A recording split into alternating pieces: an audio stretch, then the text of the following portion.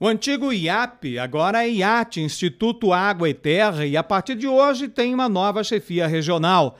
Em solenidade simples, com a presença de colaboradores, familiares da nova chefe do órgão ambiental, Flávia Ostapive, e do vice-prefeito de Pato Branco, Robson Cantu, que fez a indicação, foi realizada a posse.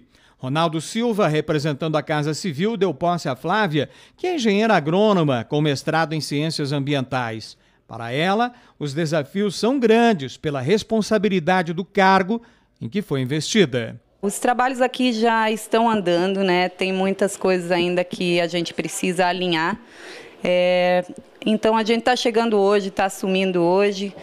É, vamos conversar primeiro com a equipe, conhecer a casa para poder fazer esse alinhamento, né? Antes de é, pensar realmente num planejamento. Mas nosso objetivo, com certeza, é a otimização desses processos.